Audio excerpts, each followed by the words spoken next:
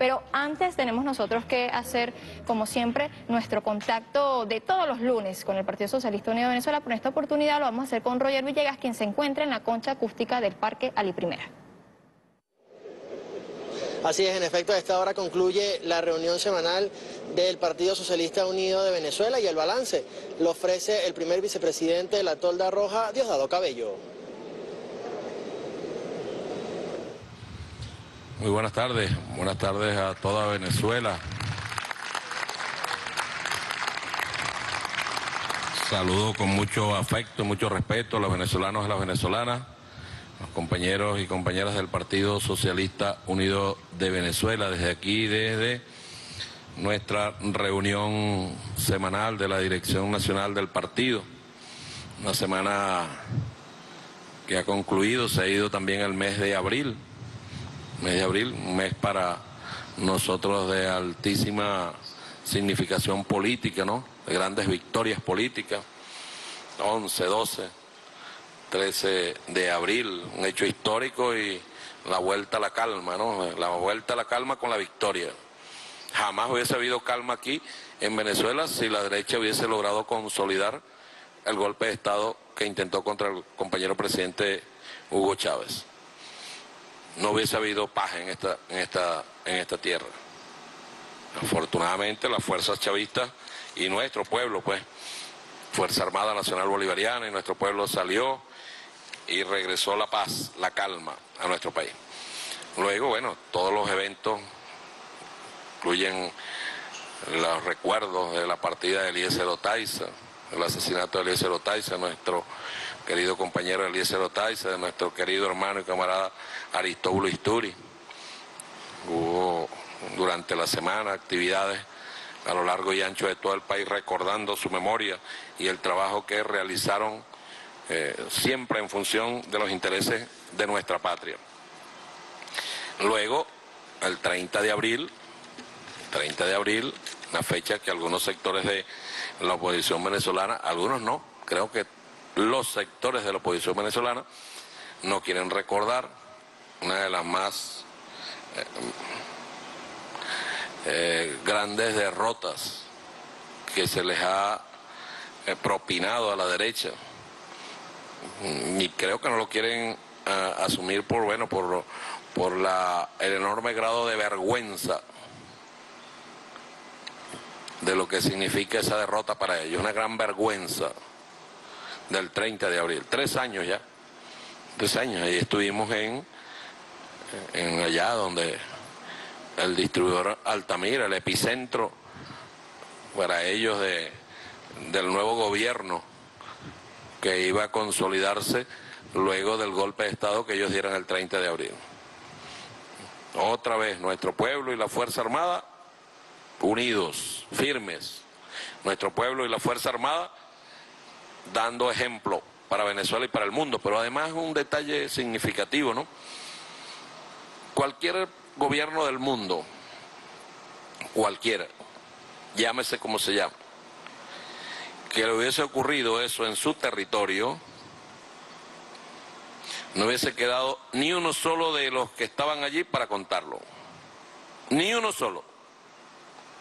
Eso ocurre en Estados Unidos, le meten no un avión, pasan 50 aviones bombardeando ese sitio. Y el mundo hubiese aplaudido a Estados Unidos porque venció a unos terroristas. Seguro le hubieran puesto el nombre de terrorista, pues. Si lo hubiese ocurrido en Colombia, los pican en pedacitos. Bueno, esa es tradición en el narcogobierno colombiano, pues, picar a la gente en pedacitos. Si hubiese sido en, imagínense, en, Brasil, con el fascista que gobierna Brasil. Imaginen un país europeo que ocurriera eso, un golpe de Estado. No hubiera quedado ninguno. Aquí lo primero que dijo nuestro presidente fue cuidado. Evitemos que haya muertos. Evitemos que haya fallecido y se comenzó una operación de desmontaje de su propia operación que dio como resultado una victoria popular en menos de tres horas.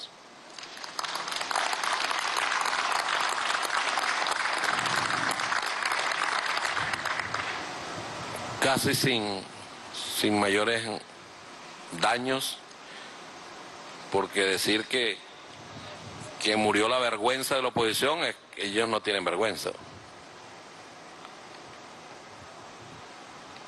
Nuestro pueblo hizo lo que sabe hacer, luchar, resistir y vencer. Nuevamente el 30 de abril fue una gran victoria popular, una gran victoria de la revolución. Allá ellos, nosotros sí nos encargaremos de recordárselo todos los años, como lo recordamos el 23 de, de febrero y como les vamos a recordar todas las fechas en las cuales ellos han sido derrotados por la voluntad de un pueblo. Luego el día de ayer, primero de mayo, el país lo vio, el mundo lo vio, pero se hacen los locos y no quieren transmitirlo. La expresión del pueblo trabajador, de la mujer trabajadora, del hombre trabajador a lo largo y ancho del país. Cinco grandes actividades en el día de ayer, coronada con la actividad central aquí en Caracas, con una gran y extraordinaria marcha contó con la presencia de nuestro presidente Nicolás Maduro, pero hubo en Anzuate, hubo en Portuguesa, hubo en Bolívar, hubo en Sucre, en, en, en Zulia, actividades por toda Venezuela, presencia de la clase trabajadora.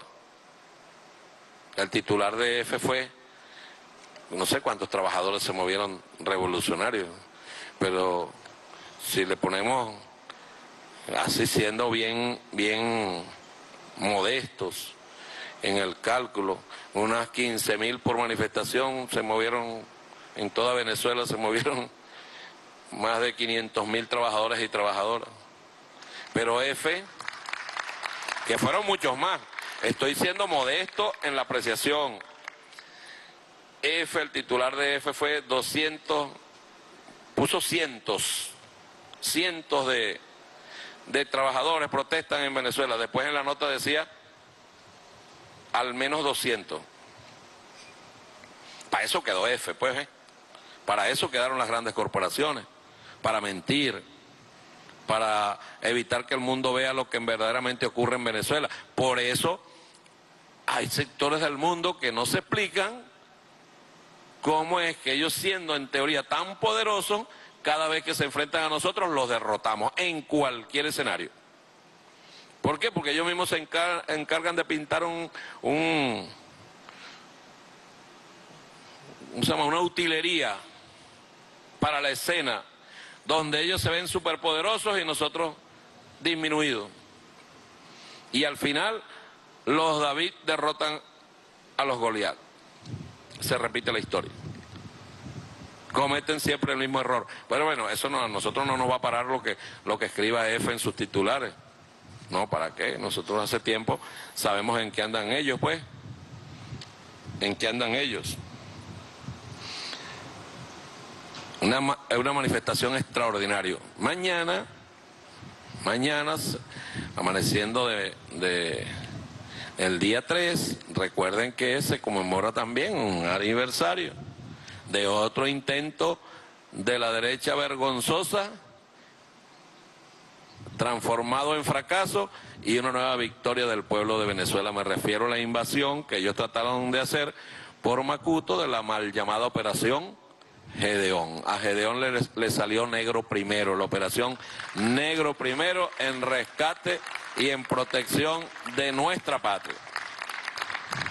Pagaron mercenarios, el mercenario dijo que lo contrataron, está la firma de los que lo contrataron. ¿Cuánto le quedaron debiendo? Es que se roban entre ellos. Se roban entre ellos, le dieron la plata para que le pagaran, el tipo de a mí no me pagó nadie. Se robaron la plata entre ellos. Ocurrió con Telesur, ¿no se acuerdan cuando ellos dijeron vamos a crear Telesur libre y le dieron a un señor una cantidad de dinero y qué se hizo esa plata? Desaparecida en acción, disfrutándolo entre ellos. Se robaron monómeros, se robaron sigos y se roban entre ellos. Ya fueron descubiertos, intentaron entrar a nuestra patria con la tarea de asesinar al presidente Nicolás Maduro y con el presidente Nicolás Maduro a todo el que estuviera por ahí cerca. Y los mercenarios fueron derrotados. ¿Entrenados dónde? En Colombia. Después, muchos de ellos participaron en el asesinato del presidente de Haití. Es la misma gente, pues, los mismos mercenarios que no pudieron entrar a nuestro país, se fueron a Haití, asesinaron al presidente de Haití. El mundo no dijo nada. El mundo no dijo absolutamente nada, ni ha dicho nada. Colombia, el gobierno colombiano haciendo lo que saben hacer, crear terror, exportar sicariato, drogas, la formación de cuerpos paramilitares para aterrorizar a un pueblo. Entonces, ese es otro día para nosotros celebrar, reconocerlo, reconocer a nuestra gente, a los héroes y heroínas de ese día, al pueblo organizado, que fue nuestro pueblo. Recordemos las imágenes de allá de, de Chuao, pero de los pueblos cercanos también, todos los que estuvieron, que, que andaban, fueron de, andaban huyendo después, fueron detectados por nuestro pueblo y puestos a la, a la orden de los tribunales. Igual a todos se les respetaron sus derechos humanos y ahí están enfrentando un juicio. En otro país a esos no los hubiese salvado nadie. Ah, los que llegaron disparando a las playas de Macuto, los organismos de seguridad tuvieron que responder. Pero los que andaban huyendo fueron detenidos y a ninguno. Eso era antes que los ejecutaban. Los agarraban y los ejecutaban. Eso se acabó con la llegada del comandante Chávez aquí en nuestro país. Bueno, y la ley, que funcione la ley. Entonces, 3 de, de mayo, otra, otro día de victoria, otro día de tranquilidad para nuestra patria, gracias a la Unión Cívico-Militar y en este caso se agregó, se agregaron los cuerpos de seguridad del Estado en, en bloque, en bloque, ya no estaba el traidor del SEBIN, ya no estaba Christopher Figuera, no, estaba el SEBIN, estaba la DIGESIN, toda la Policía Nacional Bolivariana, todos juntos. Los traidores ya se habían ido un año antes. No van a descansar, la derecha no va a descansar. Tengamos presente eso, ¿eh? que no nos descuidemos. Estemos siempre pendientes de las pequeñas cosas que veamos. Aquí nada ocurre por casualidad. Cuando la derecha hace algo es porque tiene un plan, un plan. Tengamos presente eso. Hoy se cumplen tres años de la siembra de Juan Vicente Torrealba, máxima, una de las grandes expresiones pues de la música venezolana, extraordinario compositor.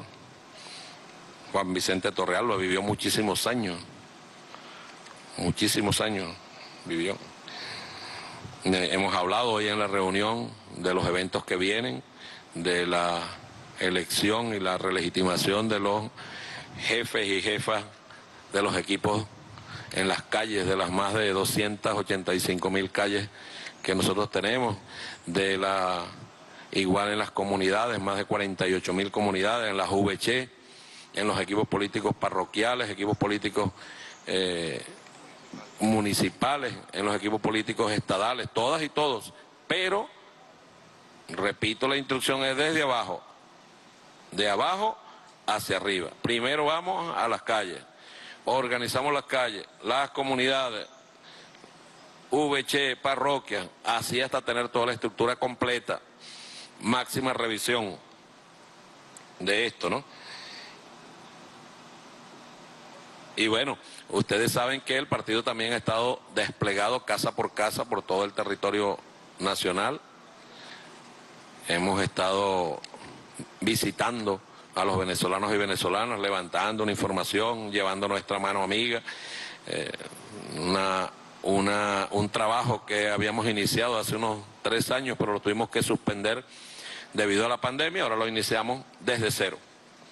De cara a qué? A tener una gran organización política capaz de llegar a los hogares, como hemos llegado a todas las calles, llegar a los hogares de todos los venezolanos. Y en cada hogar tocar cada cara y cada caso. contactar cada casa, cada casa, cada cara y cada caso. Y le enviamos un saludo a todos los jóvenes muchachos que están en los Juegos Suramericanos de la Juventud desde el día 28 de mayo. 788 atletas en 24 deportes. Hasta ahora llevamos 32 medallas. ¿Cuánto? Ah, 188, no es 788. Los años no perdonan. O el que escribió esto, ¿no?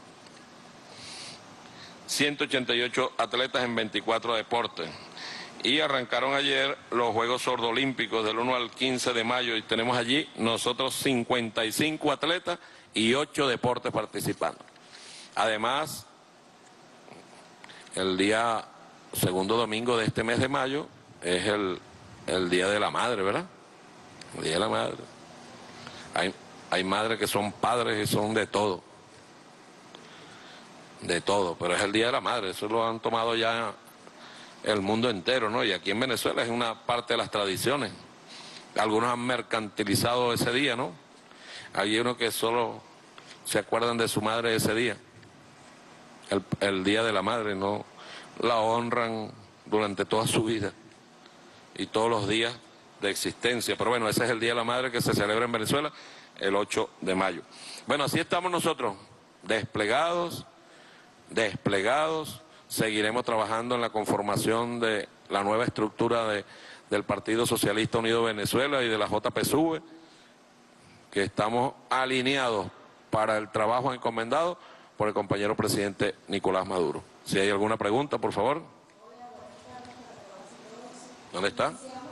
Ah.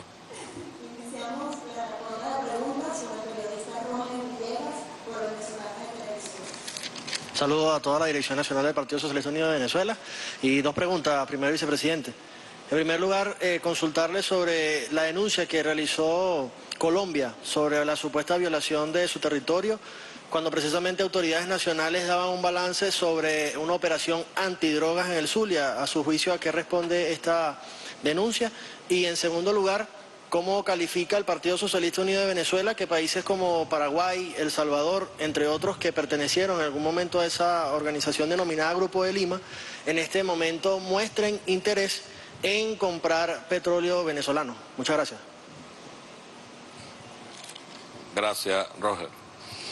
Bueno, Colombia, ustedes saben, ya el mundo, mejor dicho, sabe que a Colombia, al gobierno colombiano no puede creérsele nada, absolutamente nada. Lo que pasa es que el gobierno de Colombia, que hoy le quedan, ¿cuántos días le quedan? Ya bajó de 100 este señor. Ya entra en los 100 días napoleónicos. Ya creo que son 90 y, 97 días le quedan hoy. Algo así, por ahí está. Por ahí está. Se va el narcogobierno colombiano. Se va para no volver nunca más y que la justicia de Colombia algún día se encargue de tantos asesinatos de jóvenes colombianos. Ah, evidentemente al narcogobierno colombiano le duele mucho las operaciones que ha venido haciendo Venezuela, no solo en el Zulia, sino todo el territorio nacional que sea frontera con Colombia. Esta semana hasta un submarino encontraron en Apure utilizado para ellos transportar drogas. Submarino de fabricación rudimentaria, pero submarino al fin, para trasladar droga. Los hemos echado a ellos y a sus socios de nuestro territorio. Allá ellos que no cuidan su frontera, que salgan ahora que Venezuela violó el espacio aéreo. Ellos van a tratar de patalear porque sus clientes en el mundo les están, les están pidiendo que les envíen la mercancía con la cual ellos trafican, que es droga. Y saben que por Venezuela no van a poder pasarla. No van a poder pasarla. Ese fue uno de los acuerdos de, del gobierno de Narnia, de Guaidó con ellos, garantizarle el paso libre de droga. Por eso Juanito Limaña, recuerden aquel señor que era gobernante en, en Honduras, Hernández, cuando ganó fiesta porque iban a una alianza en la lucha contra las drogas. Bueno, y ese señor ya está en Estados Unidos procesado por droga. Al día siguiente, que dejó de prestarle servicio a Estados Unidos como presidente de Honduras, le abrieron un juicio para llevárselo por droga. Colombia está muy dolida y va a inventar lo que sea. Ahora, nosotros, máxima coherencia, pues, estamos acostumbrados. Colombia es el mal vecino que nadie quiere tener. Nadie quiere tener a Colombia como vecino. Mal vecino. Y el gobierno colombiano no hace nada, al contrario, hace todo lo contrario para tener paz con sus vecinos. Quienes gobiernan Colombia ejercen desde allí, bueno, una especie de, de centro delincuencial contra sus vecinos. Vea que no nos preocupa lo que diga Colombia en, este, en estos casos. Con respecto a Paraguay El Salvador, bueno, no son solo Paraguay y El Salvador. Lo que ahí extraña es la poca vergüenza, ¿no? Poca vergüenza de algunos que gobiernan estos, estos países. Paraguay, por ejemplo, nos, bueno, nos declaró dictadura, nos declaró gobierno ilegítimo, cualquier cantidad de cosas, apoyó al grupo de, al mal llamado Grupo de Lima. Pero bueno, todo el interés de ellos era una deuda que tenían con Venezuela de más de 300 millones de dólares la cual después negociaron con Juan Guaidó y entre ellos se pagaron una comisión de 27 millones de dólares donde está metido un hermano del presidente y un ciudadano del gobierno de Narnia. Ahora, ellos creerán que es que le vamos a enviar, le vamos a enviar petróleo y no nos van a pagar lo que nos deben. ¿Será? Que ellos creen eso, ¿verdad? A ninguno de ellos Venezuela le ha negado nunca petróleo. Nunca. Al contrario, siempre hemos estado a la orden. Siempre. Lo que pasa es que, bueno, algunos de estos países los gobierna gente que terminan arrodillados ante el imperialismo norteamericano. Y Estados Unidos les da una orden y ellos la cumplen rápido, inmediatamente. Y además con una sonrisa. Y cuando el amo dice, me voy a reunir con, con Venezuela, los esclavos estos que ellos tienen por aquí, también dicen, nosotros vamos a aprovechar esta colita.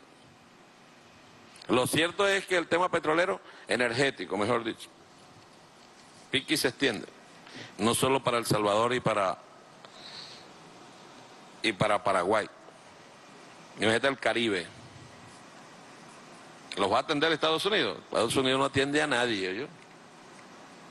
a nadie, a menos que sea para vender armas. Eso no atienden a nadie. De manera que bienvenidos y reglas de juego claras conservan amistades.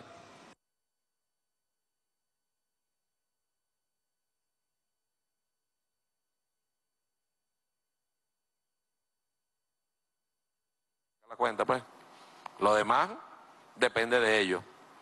Depende de ellos. Lo que sí es cierto es que el petróleo que antes conseguían ellos por, algún lugar, ahora, bueno, con los ataques a Rusia, con los ataques del mundo occidental a Rusia, eh, esas posibilidades de adquirirlo se han eh, reducido. Esa es la guerra que provocaron ellos allá en, en Ucrania, ¿eh?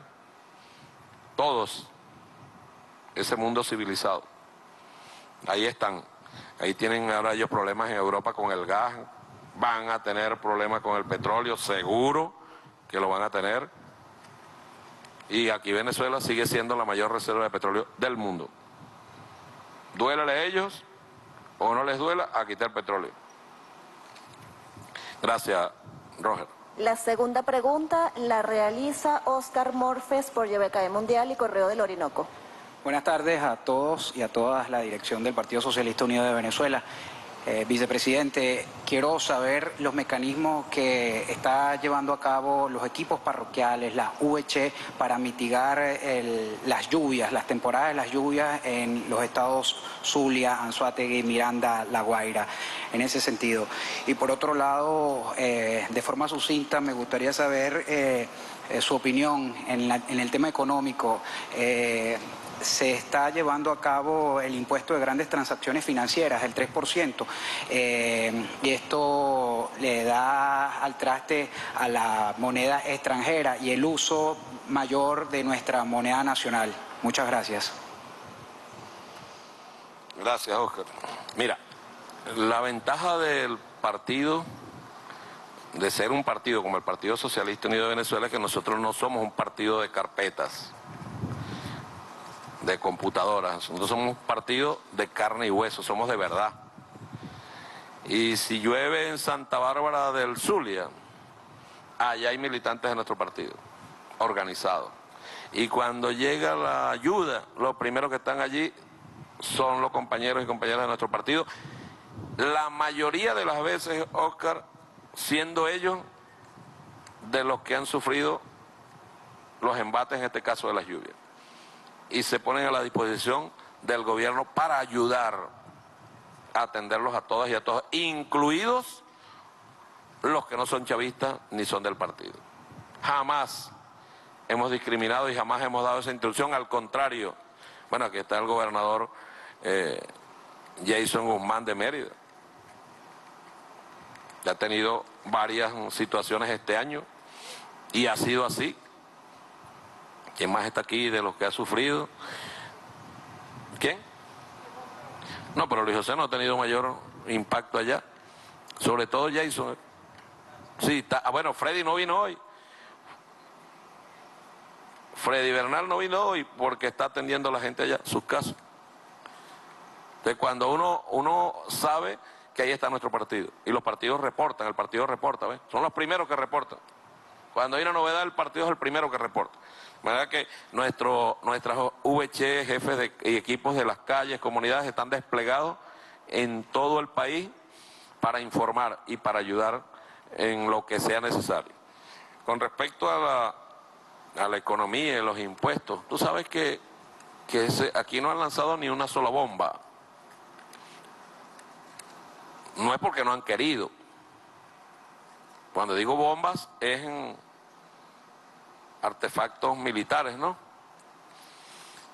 Nos han lanzado muchas bombas. Una poderosísima fue contra, han sido las que han lanzado la economía venezolana. Nos han lanzado bombas a, a la moral de nuestro pueblo, con campañas enormes financiadas por los grandes medios para decir y que se perdiera la autoestima nuestro y que los jóvenes vieran como única opción irse de nuestro país, porque Venezuela no tenía arreglo. El gobierno ha ido con una política clara, muy clara, avanzando, avanzando. Hoy nuestros niveles de inflación son menores que otros países de los que han propiciado las bombas contra Venezuela, los que han enviado bombas contra Venezuela y atacar nuestra economía. No nos alegra eso. No nos alegra eso. Nos contenta mucho que Venezuela esté bien, no nos alegra que ellos estén mal. Pero es una realidad, ¿ves? Es una realidad, no es, no es, no es mentira. Nos han bloqueado, han cerrado las cuentas nuestras, se han robado el oro de Venezuela se han robado junto con unos vendepatrias los bienes de Venezuela en el extranjero como Cisco, monómeros. Han sido ataques contundentes, no nos dejaban comprar ni las vacunas, ni las vacunas contra, contra la pandemia. Y hemos ido, resistimos todos esa, esos ataques y hoy estamos renaciendo. No es que yo, yo ayer dije algo, en Anzuate por el tema este que Venezuela se está arreglando. Generación espontánea, pues. La pusieron al sol y se está arreglando. No, es una política de Estado, pero sobre todo es un esfuerzo nacional de la, del pueblo de Venezuela, de los trabajadores, las trabajadoras, para sacar adelante al país. Porque ellos quisieran que eso es lo que quede, se arregló solo. Se arregló solo. Nada se arregla solo. Nada se arregla solo. Es una política, es una política coherente del, del gobierno y un pueblo que no se rinde, que no se entrega. Tú sabes que ellos comenzaron a protestar por el, por el impuesto a las grandes transacciones. ¿Quiénes protestaban? ¿El pueblo llano? No. Los empresarios, los comerciantes. Eran ellos. Estaba muy claro. Y siempre van a protestar. Ahora, nosotros vamos a seguir avanzando. ¿Cuál, es la deuda? Y, y el presidente Nicolás Maduro lo tiene muy claro. Nuestro presidente. Que ese crecimiento, que esa estabilidad y ese bienestar político sea sin desigualdad. No genere desigualdad. Yo leí ayer una señora que decía, ser rico es rico. Ellos no han producido riqueza nunca. Esa familia jamás han producido riqueza nunca. Se han robado la riqueza de los que sí producen riqueza, que son los trabajadores y las trabajadoras. Eso es otra cosa. Se han robado el esfuerzo toda la vida de nuestros hombres y mujeres. Pero ellos no producen riqueza, que han, producido, no han ni trabajado jamás en su vida. Ellos viven del trabajo de todo, es como el parásito de, de, de Lorenzo Mendoza. Viven del trabajo de los demás y robándole la plata a todos los venezolanos. Toda la plata que le dieron, ahorita tienen grandes empresas en Colombia y en otros lugares, ¿ves? Y los productos de esa empresa se consiguen más barato en Colombia que los producidos aquí en Venezuela. Misterios de la ciencia, como dice alguien. Y esas empresas están allá gracias a la plata, al dinero que, salió de, de, aquí de Venezuela. Como los banqueros, pues. Como los banqueros. Jamás ha producido riqueza. Riqueza produce el trabajador. El que se esfuerza día a día. Entonces, no, estos son acumuladores, si acaso. Acumuladores. Explotadores. Ser rico es rico. Ah, bueno. Trabaja para ver si vas a ser rica de verdad alguna vez. Jamás serían ricos con el esfuerzo propio. No podrían, jamás. Gracias, compañero Oscar. La tercera y última pregunta la realiza Geraldina Colotti por Resumen Latinoamericano. Buenas tardes, capitán. Buenas tardes a la Roja. Eh, mientras que mi país, Italia, un país capitalista de la Unión Europea, la fecha, las celebraciones del movimiento obrero no lo han vaciado de contenido y algunos jóvenes que no están de acuerdo han tenido que enfrentarse ayer con la policía.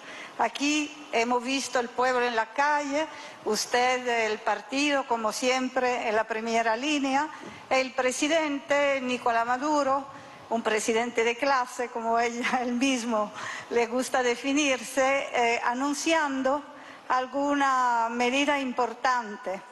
Eh, quiero, por favor, que me diga cómo el partido se está preparando con respecto a esta medida, en lo específico, la sobrintendencia por los CPT y también cuáles son, cuál va a ser las etapas de los otros anuncios con respecto al partido, porque el presidente dijo que al máximo un año la Asamblea Nacional tiene que tomar decisiones al dar esta deuda con la clase obrera.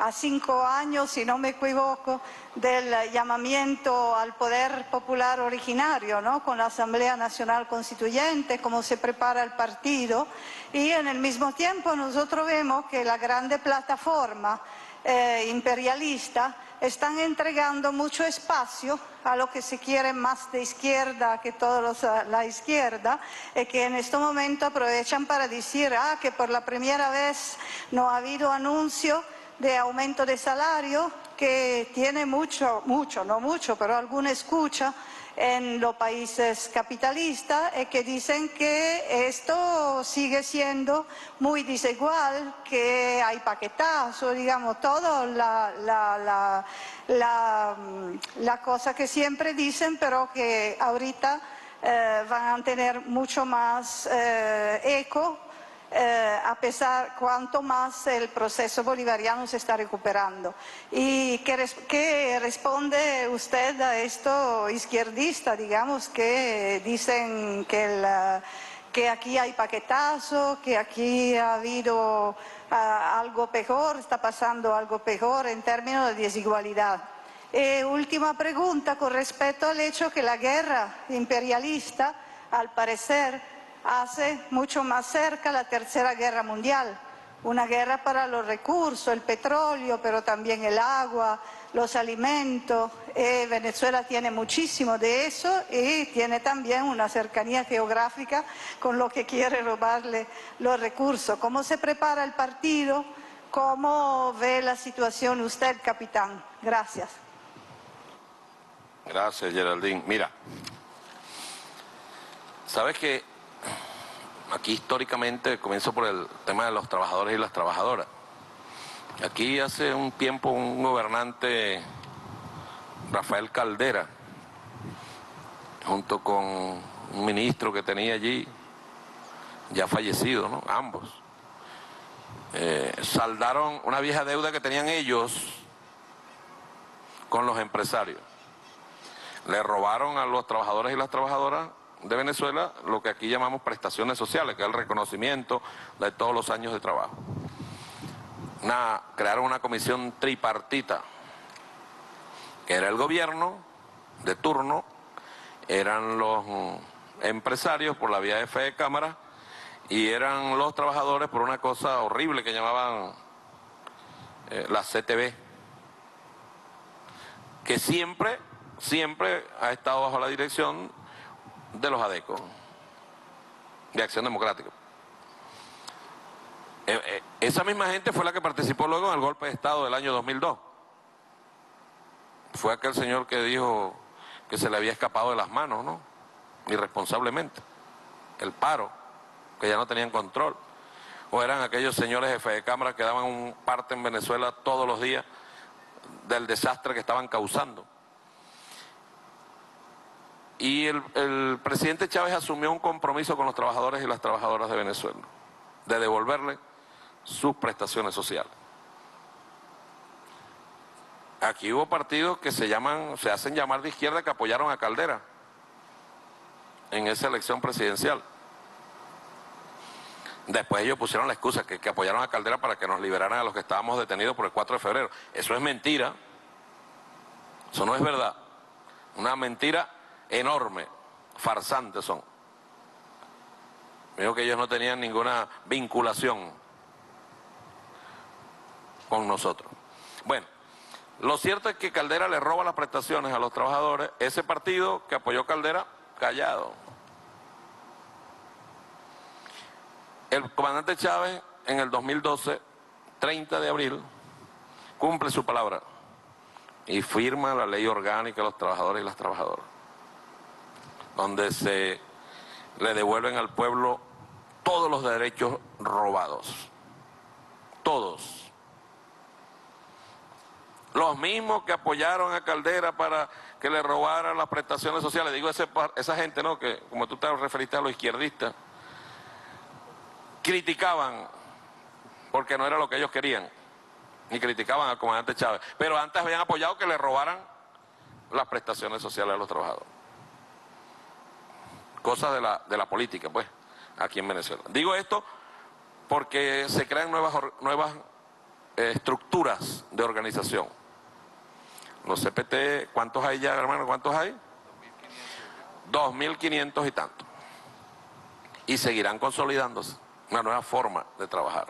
El viejo sindicalismo de, de la CTV desaparece y emerge un nuevo sindicalismo con los trabajadores y las trabajadoras de verdad al frente con quienes dan la cara todos los días al frente, organizado, para todas las tareas, para todas las tareas.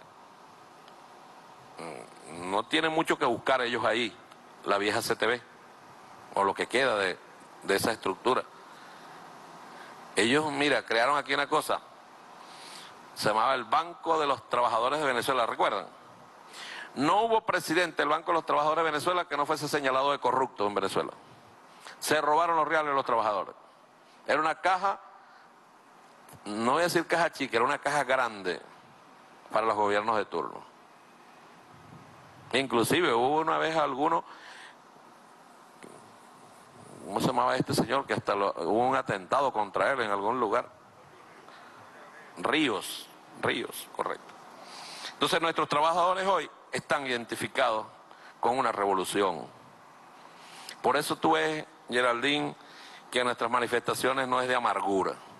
Nuestras manifestaciones son de alegría y cuando salen los trabajadores a la calle a caminar, a celebrar el Día del Trabajador, lo hacen de corazón. Aquí antes, las marchas de los trabajadores, tú estabas muy chiquita cuando eso. Pero las marchas de celebrar el Día de los Trabajadores, Geraldine, llevaban una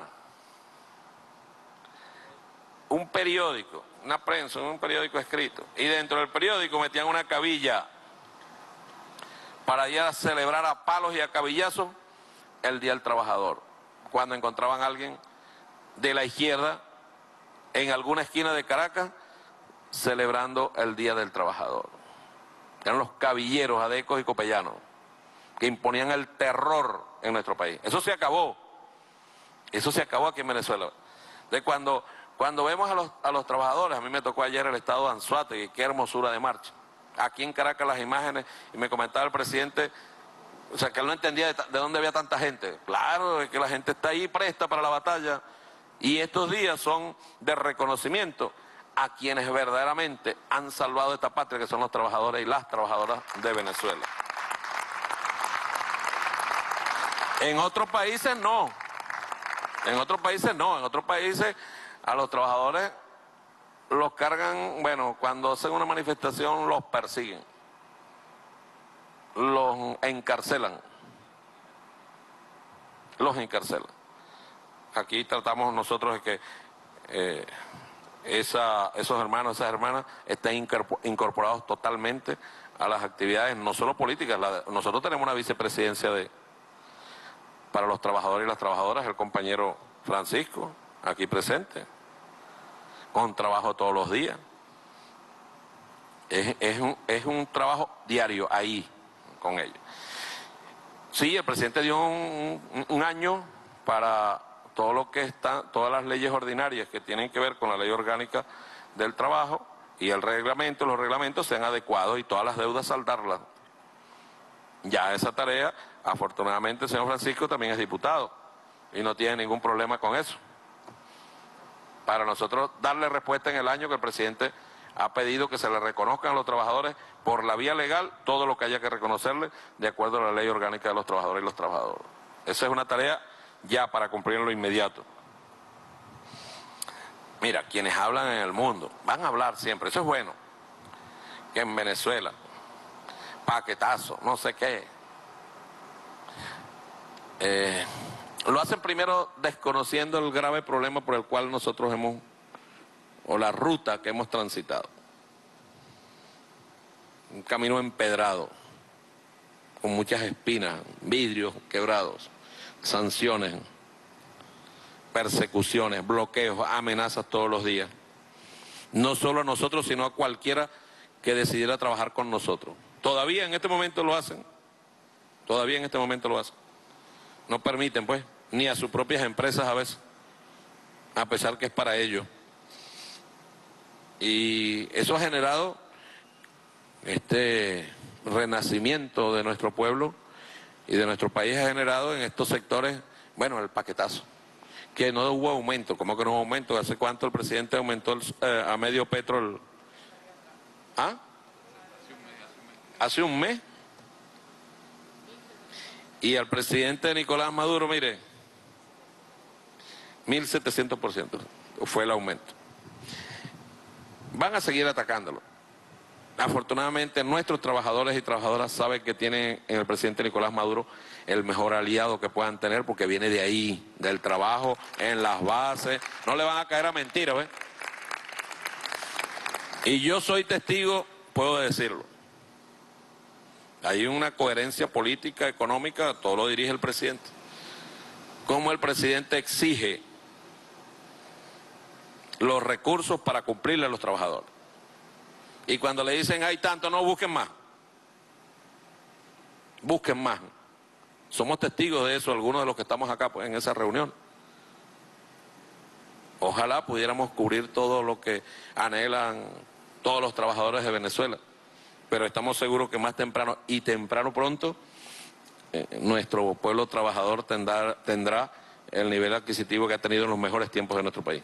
No tengo ninguna duda porque hay disposición del, del presidente y todo indica que este renacimiento de Venezuela no se va a detener, al contrario, como un árbol, pues, van naciendo y van a venir en el llano venezolano y en muchos sectores de Venezuela ocurre que, que hay incendios y los árboles se pareciera que se secan y vienen las lluvias, el milagro de las lluvias y dos o tres lluvias y comienzan a renacer. Y con el renacer entonces tú ves en la sabana, en el medio de la sabana, un árbol que fue quemado, que le pasaron, que le pasaron las llamas y lo ves pocos días antes, como hace un mes, iluminando la sabana, un araguaney lleno de flores, que es el árbol nuestro, pues el árbol nacional. Y yo creo que nosotros somos como el araguaney, no nos detenemos en nada, renacemos y renacemos con hermosura. De manera que se queden con sus ganas. Y con la tercera guerra, bueno, pedimos a, al mundo entero y a los que crean en algo, que nos unamos en oración y en petición para que no haya ninguna tercera guerra. Las guerras no las gana nadie. Lo que sí es cierto, y eso lo decimos nosotros con plena responsabilidad, hoy Rusia está dando una batalla que debería dar al mundo entero contra el fascismo, y la está dando sola. Y todo apunta que Rusia volverá a, a derrotar al fascismo y a los nazis. ¿Sí? Los, los, volverá a derrotar. Esa batalla debería estar dándola a todo el mundo. Ellos saben lo que son capaces de hacer. No, los promueven. No es ayer. Yo le decía a los compañeros aquí que esa película la vimos en Venezuela. Una señora actriz que se llama Angelina Jolie, creo que se pronuncia así.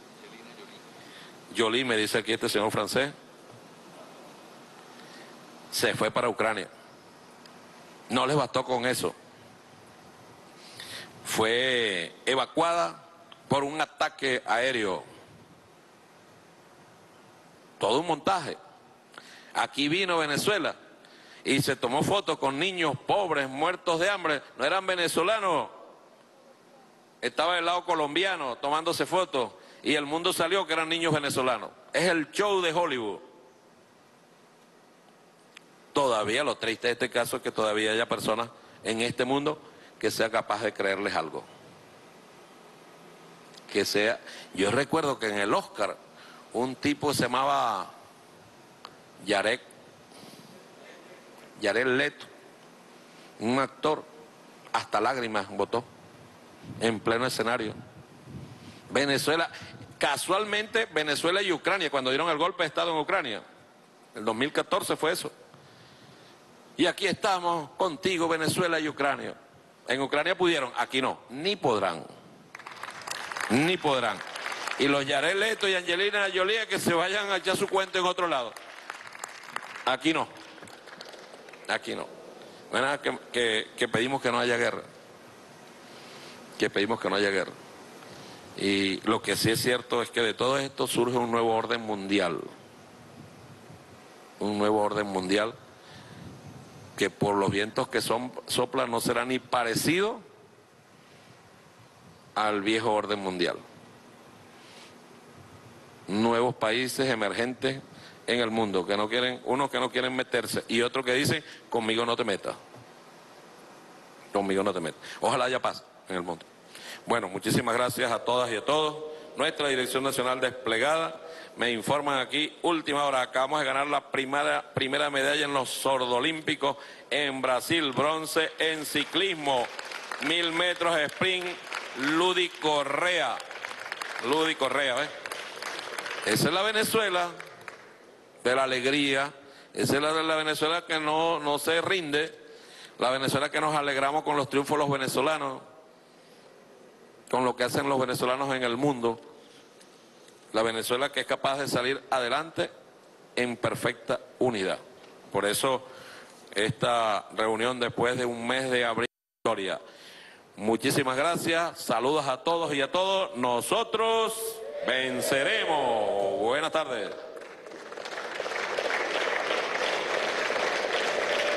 Bien, escuchaban declaraciones del primer vicepresidente del Partido Socialista Unido de Venezuela, Diosdado Cabello Rondón, a propósito de la reunión semanal de esta organización política, quien destacaba dando un balance acerca de las actividades que se han desarrollado, tal como el 30 de abril, también el 1 de mayo, el Día de los Trabajadores, también eh, decía que se va a, a conmemorar este 3 de mayo lo que ha sido la celebración de esa derrota de la operación Gedeón. Además, desestimó la denuncia de una supuesta violación al territorio colombiano y afirmó que Venezuela continuará esa lucha antidrogas. Además, en otro contexto, eh, afirmó que mientras hayan relaciones de respeto, podrá Venezuela hacer negocios con otros países del mundo para ofrecer nuestro petróleo. Y además también respaldó los anuncios que hacía el presidente Nicolás Maduro en materia laboral y exhortó a los consejos productivos de trabajadores a continuar esa tarea.